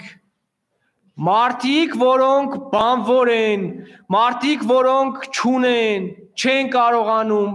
անհրաժեշտ է խոսել այդպիսի մարդկանց խնդիրներից եւ խնդիրներից, մարդիկ իրենց ճանապարհն ուզում են տեսնել։ Երբ որ դուք դուրս եք եկել փողոց, դուք գծել եք, չէ, ինչ եք ուզում անեք, ուր եք ուզում գնաք։ Երբ որ դուք կոչ եք անում մարդկանց, ասում եք եկեք փողոց, մարդ ուզում է հասկանա, լավ, գալիս է, իրա որ հարցերն է լուծվում։ Հարցերը կան պետական շահի հարց, երկրի հարց եւ կա նաեւ հարցեր, որ անձնական շահի հարց է։ Մարդիկ այսօր երեխուն հաց չեն կարում տանեն հասցնեն, ինչ անեն, ասեք ոնց հասցնեն գան մասնակցեն ամեն ինչ պետք է սկսել դրա համար միանգամից միավորվել ու ես ասեմ մի քանի հազարներով մարդիկ այսօր անհամբեր սպասում են նույն պետական աշխատողներ մարդիկ վախենում են ասում են ես բա որ հելնեմ գնամ օրինակ նույն ձմեռվա պատմությունն էլ որ տեղի ա ունեցել մարդիկ ասում են բա որ մենք գնանք մենք մեր աշխատանքը կորցնենք, իրենք էլ նորից հետ քայլ տնեն, այսինքն այդ որ մի անգամ դուխաթափ ասված կա, այսպես իրանց խեղճացրել եք, ասենք, որոշ մարդիկ ասում են, ասենք կարողա ձեր կյանքում բան չփոխվի, բայց մարդկա իր պետական աշխատանքը պիտի թողի, գա օրինակ կպնի մասնակցի։ Նա պիտի հասկանա, նա պիտի 100% վստահ լինի, որ դուք միջև վերջ գնացող եք, ու այդ ասենք լեզվով ասելով չի, բոլորս էլ կարան կանգնենք, ասենք մենք միջև վերջ գնացող ենք, մեկ էլ հոп քաղաքասիկ դե քաղաքականություն է, քաղաքականության մեջ փոփոխվում է։ Իսկ եթե կտրուկ քայլեր ենք ասում, եկեք կտրուկ քայլերը հետևապես հասկանանք, ես այսպես եմ հասկանում, որպես պայքարող կլինի ճանապարհ փակել, կլինի ասֆալտներին նստել, պարկել, գոռալ, հնարավոր բոլոր գործիքակազմերը հնարավոր բոլոր մեթոդները պետք է կիրառել, որովհետև հայրենիքի փրկելը այդ մի հատ բրտբրտելով, չգիտեմ, ամեն օր, ամեն ժամ կոնկրետ ջանք ու երրանդ պիտի դրվի ու աշխատվի այդ աշխատանքի արդյունքում վստահ եմ որ կհասնենք հաջողության։ Հա, հրապարակել կապված եւ Ես բոլորին Այո, ես բոլորին կոչ եմ անում դուրս գալ փողոց, Ես նորից եմ կրկնում, այդ պատճառաբանությունները ինձ համար անընդունելի են, սրան չեմ սիրում, նրան չեմ սիրում։ Ես այսօր ասում եմ, ով պայքարում է հայ մարդա,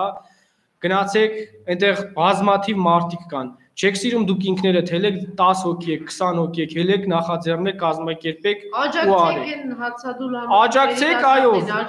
պատերազմին մասնակցած զինվորին։ Այո, այո։ Շարժման ներկայացնել Ղազարյանն են։ Ինչքան մարդիկ կան, այսինքն իրենց այս պատճառաբանությունը արդեն անիմաստ է, էլի, եթե իրան չես սիրում, այնտեղ պատերազմի մասնակցած տղերք հացադուլ են արել, բա իրանց էլ չես սիրում։ Բասում ես մեր զինվորը,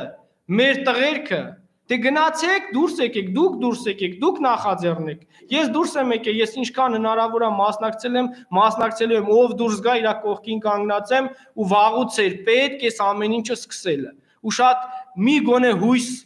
կա, որ բոլորս մեր ուժը դնենք, եթե որևէ մարդ մտածում է, որ ինքը ուժ չդնի, այս պայքարը միանշանակ չի լինելու։ Մի հատ ամեն մեկը ձեր բաժինը արեք եւ վստահաբար ձեզ ասում եմ, Նիկոլ Փաշինյանը շանսեր չի ունենալու Եվ ես էլ այստեղից դուրս եմ գալիս հենց հիմա։ Գնում եմ եւ շարունակելու եմ իմ աջակցությունը հայտնել ու պայքարել։ Հարցերը կլուծվեն միմիայն պայքարի միջոցով։ Այսքանը։ Ձեզ նույնպես շնորհակալություն։ Մենք աշխատել ուղիղ եթերում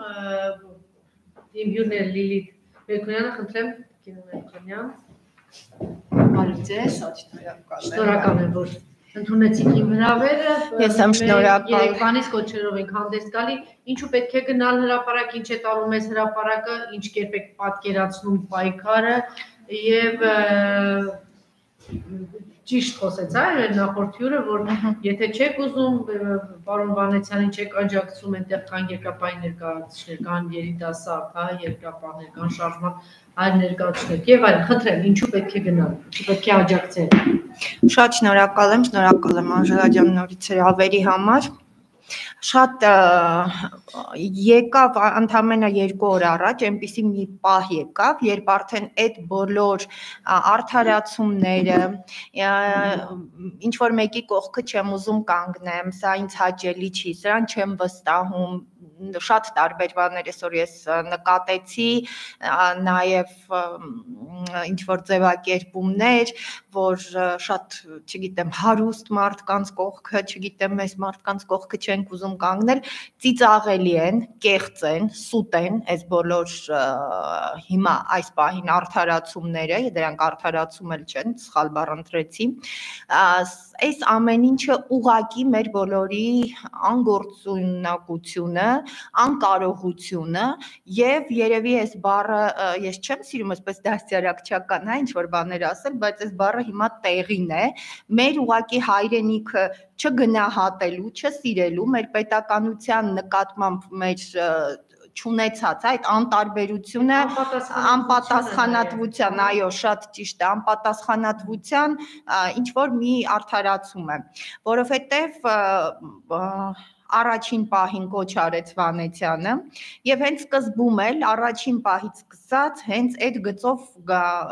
նշվում է. Բոլոր նրանք ովքեր համաձայն չեն չեն հրավիրում այնտեղ մարդկանց ովքեր ուզում են որպիսի իշխանության գա չգիտեմ Արթուր Վանեցյանը կամ մյուս ուժը այս գործիչը այն գործիչը ոչ այստեղ հրավիրում են այն մարդկանց ովքեր չեն ուզում որ Արցախը լինի Ադրբեջանի կազմում այնտեղ եթե կանգնած են մեր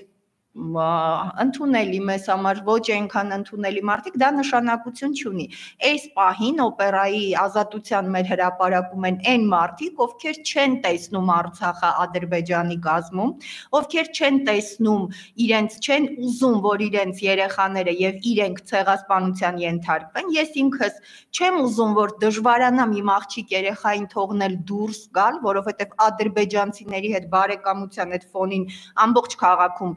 ադրբեջանցիները այս պահին արդեն կան, ովքեր դրա հետ համաձայն չեն, պիտի այնտեղ լինեն։ Ու այսօր ես լսեցի առավոտյան հա հացադուլ անող մեր երիտասարդները 44 օրյա հենց պատերազմի մասնակիցները, որոնք ծրագրավորողներ են, կարող էին հանգիստ իրենց համար նստել, աշխատել, ունեն աշխատանք, իրենք ուղակի չեն համակերպվել եւ դիմել են այս կտրուկ քայլին։ Նրանք կոչ արեցին իրենց հասակակիցներին, երիտասարդներին եւ շատ հետաքրքիր ձևակերպմամբ, որ եթե մենք ասում ենք մենք անկախության սերունդն ենք, այսինքն այդ երեխեքը, որ ծնվել են, ունեցել են Արցախ, դա իրենց հայրենիքն էր։ Մենք որ ծնվել ենք երկու, այո, մեր ժամանակ դեռ մեր դա մենք գիտակցում ենք, բայց պատմականորեն, հա, այսպես փաստա։ Իսկ իրենք հենց այդտեղ ծնվել են եւ դա իրենց հայրենիքն էր։ Եվ տղաները կոչ էին անում, որ պետք է գալ, քննարկել, հասկանալ, ինչպես ենք մենք ինչու ենք անկախության սերունդ։ Ինչպես է դա, ինչի համ, ինչ ենք այդպես կոչվում, որովհետեւ այդ տարեթվերին ենք ծնվել, թե իրականում կարողն ենք նաեւ, հա, այդ Արցախյան շարժմանն է թաղթանակի, եւ ես կարծում եմ, որ իրականում շատ կարևոր է բոլորիս մասնակցությունը։ Այսօր իսկապես սա միակ ու կարևոր գործն է, որ պետք է անել, որովհետև գիտեք միշտ մի քանի օր առաջ Էդգար Էլբակյանը շատ հետաքրքիր ձևակերպում տվեց, երբ ասում ենք հայրենիքը, հայրենասիրությունը, իսկապես դրանք իրացիոնալ են, բայց դա եթե չկրես, դու ես հողի վրա, հա հողը ոդքերի տակ ուղակի չես գա։ Այն ինչ հիմա կատարվում է, արդեն բաց տեքստով ասում են, այստեղ արդեն կարծիքի, ինչ որ մեկնաբանության, նույնիսկ այդ դրա տեղը չեն թողել։ Կարծում եմ, որ բոլորը, բոլորի տեղն է եւ ես շատ ուրախացա, որ շատ տարբեր մարդկանց, տարբեր հայացքներ ունեցող, տարբեր մեծ ու փոքր, հա, իրենք իրենց գործարար ինչ-որ բաներով զբաղվող տնային տնտեսուհիներ, չեմ ասում գիտական բավական մեծ գիտնականների մեծ խումբ կար, այսինքն այն մարդիկ, ովքեր պատկերացնում են ամբողջ կյանքում օրինակա հենց ցեղասպանագետներ ես երեք տեսա այնտեղ, մեծ խմբով կանգնած էին։ Իրենք ամբողջ կյանքում ուսումնասիրել են ցեղասպանությունը, դրա պատճառները, հետևանքները ցեղասպանությունից հետո շարունակվող այդ տնտեսական, հա, ինչ առանձին ռեպրեսիաները հայերի հանդեպ, հիմա իրենք կանգնել են մի փաստի առաջ, որ իրենց ուզում են ապացուցել, որ սահմանները բացելու դեպքում, հա, կարող է այստեղ հայկական բիզնեսը ծաղկի եւ գումար մտնի Հայաստան։ Եվ այդ մարդիկ ուղակի չգիտեմ, ամբողջ կյանքում ուսումնասիրած լինելով հիմա արդեն հասկացել են միակ բանը, որ պետք է անել, պետք է ոդքի կանգնել, որովհետև հետո արդեն այս ժամանակների մասին են այդ նույն բաները գրվելու երևի կամ ուսումնասիրվելու ցավոք ինչպես թափեսնել, հա, մենք անդադ կոչեր ենք անում, չգիտեմ, ինչպես արթնացնել մարդկանց, որ իհարկե ճիշտ է մենք անվերջ պիտի կրկնենք Արցախի հարցն է, Արցախի հարցն է, բայց մեծ հաշվով Հայաստանի Հայաստանի Հայաստանի հարցն է։ Այո, Հայաստանի հարցն է։ Իմիջիայլոց ես նկատում եմ, որ բավական այդ սթափությունը կա։ Արդեն շատ այ այս ժամանակների, այս բոլոր ժամանակների ընթացքում եւ Անժելա իրականում անընդհատ այն ժամանակ, երբ որ քննադատությունները ավելի շատ էին, իսկապես դուք ես ուզում եմ հենց եթերում ասել, անընդհատ այսպես շատ կտրուկ, շատ հստակ այդ ուղերձները հենց այս ակումբից, այլի ակումբից տարածում եք եւ հիմա եկել է մի պահ, որ ընդհանրապես պետք է իրենց այդ մասնակցությունը բերեն հրաապարակում, սթափեցնելու Եթե մենք ասում ենք Արցախի հարցն է, իսկապես միայն Արցախի հարցը չի, Հայաստանի հարցն է։ Հիմա մենք տեսանք, որ դա Սյունիքի հարցն էր։ Տեսան Գեղարքունիքի բնակիչները, երասխում արդեն դրոշը, հա, դրոշը երասխում, դրոշը այդպես մեծ Հա, դրոշը, որ մի քանի օր առաջ այդպես մեծ հիմա իջեցրել են։ Առաջին իջեցնողը հիշում եք, երբ Բաքու Սահակյանը եկավ Հայաստան եւ այդ հանդիպման ժամանակ բացակայում էր Արցախի հանրապետության դրոշը։ Այսինքն այս թուրքահպատակը իրականում առաջին դրոշը քիչեցնողն եղել։ Մեր պարտության, մեր ողբերգության, մեր կորուստների, մեր ամեն ինչի խորհրդանիշը շարունակում է մնալ ինքը Նիկոլը, որ եւ նաեւ շարունակում է մոլորեցնել խաղաղության թեզով, ես խնդրեմ նաեւ դրա մասին խոսել։ Խաղաղության, այո, շարունակում է մոլորեցնել, որովհետեւ տպավորություն է, որ այդ ամեն ինչը ինչի համար պետք է պայքարել մեզնից հեռու է, կամ երկրորդ մի տեսակետ, որ դա մեզ չի վերաբերում աշխարհակաղակական է, հա ռուսները կպահեն Իրանը եւ այլն, այս ամեն ինչը երբեք հնարավոր չի եղել, որտեվ 88-ին էլ 90-ականներին էլ, եթե մենք մինչև վերջ կանգնած չլինեինք, ոչինչ չէր ստացվի։ Աշխարհում այդպիսի օրինակներ չկան, եթե ժողովուրդը չի ուզում իրենց համար հայրենիք են փրկում ու բերում նվեր տալիս։ Պատմության մեջ այդպիսի բան չկա։ Եվ սա խաղաղության խաղաղություն ասվածը այս տարածաշրջանում է արևելքում դա հնարավոր չի արևելքը իր ամբողջ պատմության ընթացքում խաղաղությունը միայն ուժեղը կարող է թելադրել խաղաղություն եւ ի վերջո տարածաշրջանն էլ մեր այնպեսին է որ մենք չենք կարող լիակատար լիարժեք խաղաղության վրա երբևէ հույս դնել մենք պիտի հույս դնենք մեր ուժի վրա եւ շատ կարևոր է որ այս խաղաղություն ասելով էլ եկավ, չէ, երջանիկ անհատ ասելով եկավ հեղափոխությունը։ Ինչ ստացանք մենք։ Ասում էին պատե, հիմա տպավորություն է, որ եթե ուզում են իշխանապողություն, ուրեմն հաջորդ իշխանությունը պատերազմ է ուզում։ Ոչ, որևէ հաջորդ իշխանություն պատերազմ չի բերելու։ Պատերազմը բերեց մեր հենց 44-օրյա պատերազմը այս հեղափոխական թավշյա ոչ բռնի հեղափոխությունը բերեց արյունալի պատերազմի եւ պատերազմի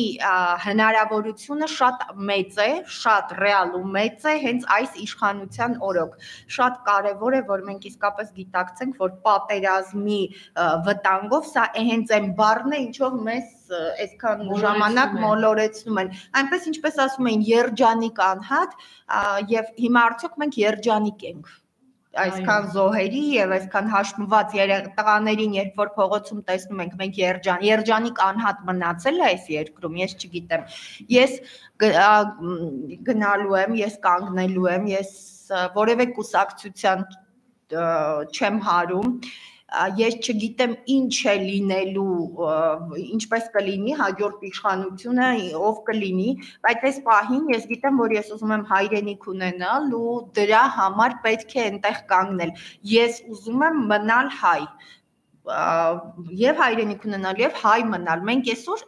ուրանում ենք ոչ միայն մեր արմատները իմ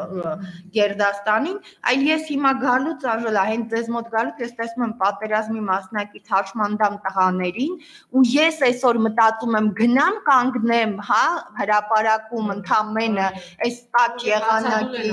այո, այս մարդիկ դեռ մտածում են երկու այ գուցե նա չգիտեմ սա հա գուցե նա չգիտեմ ինչա արդարացում են գտնել որ չգնանք հաջակցեին կամ չգիտեմ։ Այո, չէ, մեր կանգնելով մենք պիտի հա, մեր հենց այստեղ որևէ մեր ներկայությամբ ու այդ կեղծ թեզին պիտի չտրվենք։ Ես մեկի կողքը չեմ ուզում կանգնեմ մյուսի։ Բոլոր նրանց, ովքեր որ պիտի կարողանան այս ճարիքի իսկապես իշխանությունը եւ այս թրքամ սերությունը, որ գիտեք մղձավանջի է նմանվում, երբ որ նամազի նման հնչում են ելույթները ազգային ժողովի ամբիոնից։ Սա ողբերգություն է ուղակի։ Եվ սրա դեմ ես կկանգնեմ բոլորի կողքին։ Ես կանգնելու եմ, որտեվ այն տղան, որ այստեղ ես նոր հանդիպեցի, ոդկը կորցրած, այդ տղայի ոդկը այն հողում է ու ես չեմ թողնի, որ այդ հողը հենց այնպես հանձնվի։ Ոդկը, ձերքը, այո, այո մի խնդիր է կա, ուսանողությունը կարծես երիտասարդությունը չի զարգանում Կարծում եմ, որ հա, երիտասարդությունը կարիք ունի այստեղ առանձին արդյոք է 2018-ից հետո թե դա ավելի պես հեշտ տրվելիք ինչ որ բաներ կամ մոլորեցնելու ճանապարհները շատ գրագետ ու ճիշտ էին, հա, մշակել թուրքական հեղափոխության հեղինակները Ճիշտն ասած, ուսանողությունը ինձ թվում է, որ ինձ թվում է, որ ուսանողությունը անպայման կզարթնի։ Մի քիչ հաջորդական գործողություններ պետք են։ Օրինակ, այսօր այս տղաների կոչը պիտի մի քիչ զարգանա, բայց ուսանողությունն ու երիտասարդությունը անպայման ոտքի կկանգնի, որովհետև ուղղակի պիտի շեշտադրումները շատ ճիշտ արվեն։ Ես ինքս դասավանդում եմ համասարանում ու ես իմ հա ես իմ ուսանող տղաներից հա ես միշտ հիշում եմ Սլավան որ ինչ երազանքներով ինչպես էր պատկերացնում շարունակությունը երբ որ ասում եք կարող ես գնալ փորձել ինչ որ հերոստատեսային եւ այլն ինքը միշտ ասում էր չէ սենց չեմ ուզում այսպես մի անգամից այսինքն հեշտ տրվի ուզում էր սենց ֆունդամենտալ ամեն ինչը ուսումնասիրելով արդեն այդ ասպարեզ մտներ եւ այս տղան այդ ասպարեզ չմտավ յուրաքանչյուր համասարանում յուրաքանչյուր կուրսում խմբում ցավոք կան այդ տղաները Հիմա մենք կամ պատրաստ ենք այդ տղաների զոհվելու, այս հողի համար են, չէ, զոհվել։ Հենց որ թուրքը չմտնի դրա համար են զոհվել։ Իրենց զոհվելուց հետո մենք դարպասը բացում ենք, ինչի զոհվեցին։ Իրենք կարելի էր իրենց այն կողմ քաշել ու դարպասը բացել, եթե սա էր։ Հիմա մենք այդ դարպասի փոխարեն, դարպասի դիմացը պիտի կանգնենք, որովհետև մեր ընկերները, մեր երեխաները այդ երեխաները, որոնք կանգնել էին այդ դարպասի դիմացը, չկան։ Հիմա մենք նրանց տեղը պիտի կանգնենք շատ ավելի հարմար ու անվտանգ մի տեղ, հա, ազատության հրապարակում քաղաքի կենտրոնում քիչ առաջ էստեղ այդ Վարոն Բագրատյանը եւ այսպիսի առաջարկությամբ հանդես եկավ կոչով ավելի ճիշտ որ դատախազությունը պիտի զբաղվի այն անձին Գուրգեն Արսենյանն եւ Վիգեն Խաչատրյանն այլով որ հայտարարեցին այո պետք է Արցախը լինի Ադրբեջանի տակ, որ ինքը խանգարել է Հայաստանին, ինչ-ինչ կարգավիճակով եւ այլն եւ այլն, ասած սա դավաճանական հայտարարություն է, որ պիտի դատախազությունը իրենցով զբաղվի, վտարել երկրից կամ նրանց կալանավորել եւ նրանց ունեցվածքը իրենցից արգրավել նվիրել հայոց բանակին։ Ես կարծում եմ, որ հայոց բանակը հիմա հատկապես հիմա շատ կարիք ունի եւ շատ արդարացի հրաշալի նախաձեռնություն է եթե հիմա այ այսպես մենք կարողանանք յուրաքանչյուրի յուրաքանչյուր փոքր բիզնեսմենի կամ հին տարբեր կուսակցություններ փոխած կաշառակեր ինչ որ մեկի, հա, այդ արտահայտություններով, ընտրակաշառքներ, այո, այս բոլորի իրենք բոլորը հնարավորություն ունենան կանգնել ելույթ ունենան ու որոշել այս ազգի ճակատագիրը, ուրեմն մենք հենց դրա պատճառով այս կետին ենք հասել։ Ես կարծում եմ, որ շատ լավ նախաձեռնություն է, իսկապես այս հայտարարությունների համար պետք է անպայման պատժվեն, բայց բացի պատժվելուց, եթե հնարավորություն ունենք մեր բանակի թեկուզ ինչ որ մասը վերականգնենք կամ ասենք մեր զինվորների որոշակի խնդիրներ լուծել իրենց իրենցից արգրաված, հա, այդ միջոցների հաշվին, կարծում եմ, որ սա կլինի հենց այդ հատուցումը։ Լոզունգները պետք է վերցնեն թալանը, չգիտեմ ինչ, ինչ այդ մարդիկ այդպես շատ ավելի կարկառուն թալանչիներ են, այդպեսի հա, անվանվում։ Թալանը, հա։ Իրենց ոճով, Նիկոլի ոճով, է։ Դե հիմա ուղակի Նիկոլի ոճով, որ ասում եք, մի քիչ արես ինչ որ մի բան այստեղ ոնց որ այնքան էլ հարթ չի ստացվում, որովհետև այդ որ ասեցին բոլորի պիտի արգրավեն ու տան աղքատներին, ես չգիտեմ, այ մեր հետևորդների մեջ կամ քաղաքում կան, հա, դե մեկը չի, բանը Նիկոլն։ Հա, մի քանիսն են երևի, միայն իրենք հարստացան 5 միլիարդ, 10 միլիարդ։ Այո, ում տրվեց այդ գումարները, ինչ խնդիր լուծվեց, որ խնդիրը լուծվեց, ես չգիտեմ, որ խնդիրները խնդիրները լուծվեցին դրանով, դրանցով։ Մարդիկ 2000 ամոց մեքենաներ, Կանադայում տներ, Շվեյցարիայում ինչ որ տներ, այս ամեն ինչը բան է, չէ՞, ջրերես է, չէ՞ դուրս գալ։ Հայաստանին արդեն པարզ է, բայց նաև արտերկրում այո, ու շքեղ կյանքը 2 միլիոնով վերանորոգումներ եւ այլն եւ այլն։ Տիկնազորի իրենց շարժը միայն ամեն օր 30000 դոլար չուսս թվերի մասին է խոսվում սպասարկումը տան, չգիտեմ, աշխատողներ, այսպես մի արկավաշխական Այո, բայց միայն այդ խմբի, չէ, բայց ժողովուրդը սպասում էր, որ պետք է բերեն իրենց դուրը ծեծեն տան, չէ։ Ես ասում սպասում այդպես անգյալ չաշխատող այդ տեսակին հասնում է։ Չէ՞ թե մարդը պիտի նստի եւ մտածի, որ հիմա վերևից ինչ որ բան պիտի ինքնի, ոչ թե հա։ պիտի արարի, ինքը պիտի աշխատի, ինքը պիտի ստեղծի պատրաստի տան։ Ուրեմն ձեզ Նիկոլը լավ է։ Քիչ էլ է ես կարծում եմ, որ գիտեք, ինչ որ ժամանակ կարելի էր, հա, մտածել, որ իսկապես սխալներ եղել են ու ինչ որ ժամանակ կարելի էր ուրիշ կերպնել պատերազմից հետո այդ մտածողությունը երբ փորձում են ինչն ենք արդարացնում ես չեմ հասկանում լավ ինչ որ բան ծախողել է կամ հիմա որ ասում եք ում ով գա բա Այսինքն եթե նախկին իշխանությունների բոլոր իշխանությունների ժամանակ ասում էին, հա որ հիմա դուրս կան իշխանապողություն լինի, բա հաջորդը ով գա, ես հասկանում եմ ինչ որտեղ, հա, թե առաջին նախագահի, թե երկրորդի, թե երրորդի։ Մտածում եի, որ թերություններով եւ այլն ամեն դեպքում, ասենք, պրոֆեսիոնալ էպիսի կայուն ինստիտուցիոնալ տարբեր ասպարեզներում բաներ կային, որ պիտի շարունակելը դժվար։ Այսինքն հիմա մենք ի՞նչն ենք մտածում, որ ով ինչը անի, ով ինչ գա որ չկարողանա անի, ասենք մտածում ենք մենք Վահան Քերոբյանի նման էկոնոմիկայի նախարար հնարավոր չի գտնել, մենք ի՞նչն ենք մտածում, թե մտածում ենք որ բանի Պեկի այսօրվա ղեկավարի նման չեն կարող գտնել, հա որ տարբեր տեղեր ինչ որ Հա, իրավաբան, չէ՞, մոռացա անունը։ Հա, որ առաջել արդարադատության նախարարներ, այսօր հա, հարկատուի միջազգային օրներ,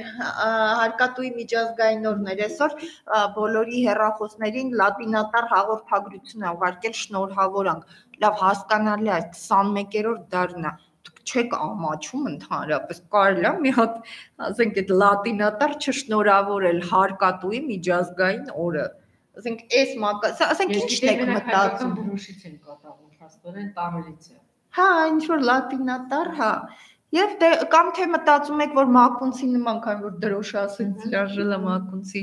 երեկվա այդ սարսափելի հայացքը հիշեցի, իրենք պիտի այդպես ողջ կյանքում իրենց թիկունքում այդ ձայնը լսեն, դավաճան, դավաճան, հողատու, կապիտուլան, դիրեք միջև մա եւ իրան ժառանգնել են, ես կարծում եմ, երբ որ քայլում է, այդ միայն իրեն չի ինքը եթե դա աստված չգիտեմ ինչ եթե երեխաները իրենք բոլորը լսեն այո տասնամյակներ շարունակ այդ ձայները պիտի լսեն երավանունից եկող ձայները արցախից եկող ձայները նա դա պիտի արձագանքի պիտի այսպես իրենց անընդհատ իրենց ավարտում ենք նորից հա եթե կոչ ունեք անելու խնդրեմ եւ ավարտենք ես առհասարակ չեմ սիրում, հա, այդպես կոչ անել դիմել, ասենք, որովհետև յուրաքանչյուրը ինքը պիտի որոշի։ Հիմա ես կարծում եմ, որ ուղակի ուզում եմ, որպեսի բոլորս միասին մտածենք, հա, հասկանանք, չմտածենք, թե այ առաջ ինչ որ ուրիշ կերպ էինք մտածել, մենք հույսեր էինք կապել նախկիններից դժգոհ ենք եղել նախկինների, չգիտեմ, խնդիրներ։ Այս ամեն ինչը եղել է եւ թերությունները եղել են բնավ հնարավոր չէ եւ կարիքը չկա արդարացնելու։ Չի եղել այնպիսի մի իրավիճակ, երբ որ մենք այսպիսի ճակատագրական պահի առաջ կանգնենք։ Չի եղել որևէ իշխանության ժամանակ, որ ազգային ժողովի ամբիոնից հպարտորեն կանգնեն ու ասեն, որ դիտարկում ենք Ադրբեջանի կազմում Արցախը։ Չի եղել իրավիճակ, որ չկարողանանք դուք գնալ, մենք չկարողանանք գնալ Արցախ։ Չի եղել իրավիճակ, որ Սյունիքը այսպես կտրված լինի եւ մենք այստեղ խեղճ նստած ամեն վարքյան մտածենք, որ տեսնես այս որ գրեցին ինչ որ տելեգրամյան ալիքներ, իսկապես Գեղարքունիքի այս գյուղը դեռ մերն է, թե չէ։ Չի եղել ի վերջո իրավիճակ այսքան տարի աշխատելով ամբողջ աշխարհի բոլոր գիտական կենտրոնների հետ, որ Ալիևը կանգնի, այսպես փաստարկներով, չգիտեմ ինչ գիտական անհայտ անորոշ հիմնավորումներով, խոսի են մասին, որ 20 թվին նվիրել են Զանգեզուրը, Գեղարքունիքը, խոսի պատմական Երևանի պատմական Ադրբեջան լինելու մասին եւ Հայաստանի Հանրապետությունից լինի 0 արձագանք։ Այսինքն մենք գնում ենք դրան։ Վերջում վարձ ենք տալու ուղակի Հայաստանում ապրելու համար։ Իսկ այս բոլոր տարիների ոչ միայն 44 օրյա, այլ այս բոլոր տարիների 90-ականներից սկսած այս մեր զոհերը ուղակի հրաշալի մի արտահայտություն կա, որ միշտ ապրիլի եղերնի օրերի մասին է եղել եւ այդպես ասվում է հենց այս օրերին։ Հիմա սա վերաբերում է նաեւ մեր Արցախյան պատերազմի բոլոր հերոսներին։ Ասում են անմեղ թափված արյունը չի լերթում, հող չի դառնում, բարձրանում է երկինք եւ աղետի նման թափվելու է բոլոր նրանց գլխին, ում պատճառով այն հեղվել է։ Եկեք ուրեմն հիմա կարողանանք ոդքի կանգնել, որpիսի իսկապես այս արյունը մեր ներսում ու մեր հաջորդ մեծ սերունդների համար կարողանանք արժե արժևորել ու իրական արժեքը նաև տեսնել։ Շնորհակալ Շնորհակալ եմ շատ։ Մեր հերթամեկնաբան Լիլիթ Մելքոնյանը շնորհակալություն ողջ օրվա ընթացքում եթերում հետևում էիք մեզ շնորհակալություն եւ նորից կոչ բոլորս գնանք դեպի ազատության Ազատության հրապարակայ։ շնորհակալություն